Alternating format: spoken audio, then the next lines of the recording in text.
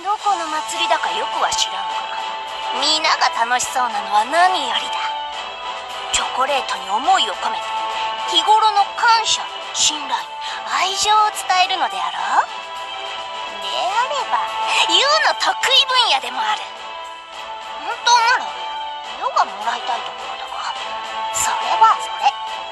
兄弟は皇帝ではなく乙女として振る舞う。我が契約者麗しのマスターよ。世の気持ちの1割も表現しきれぬものだがこれを授ける慎んで受け取るがよい。